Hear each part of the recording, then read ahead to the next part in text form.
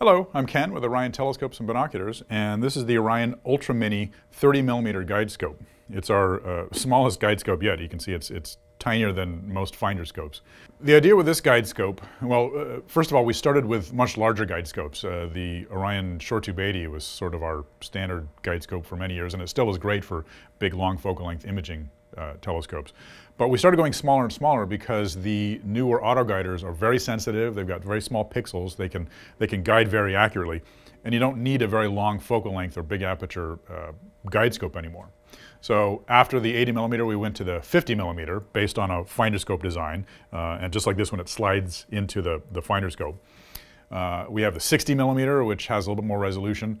But if you're imaging through small astrographs, small refractors, like the 80 millimeter triplet, uh, the, the uh, ED80 doublet, uh, any of those small refractors, you don't need a lot of power on your autoguider. So we came out with this guy.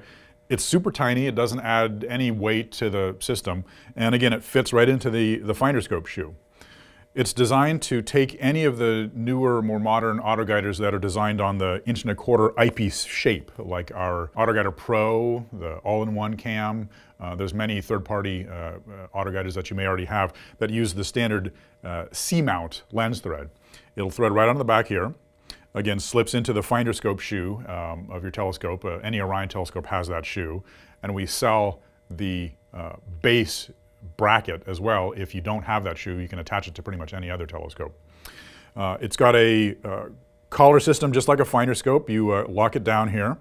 And focus is very simple. You just loosen this little set screw here, focus the lens until the stars are nice and sharp on the autoguider, lock it down, and then you pretty much never have to focus the thing again unless you put a different uh, auto guide, uh, guide camera on the back. So very simple system. Again, 30 millimeters. Uh, it's a 130 millimeter focal length. Uh, that's f4.3.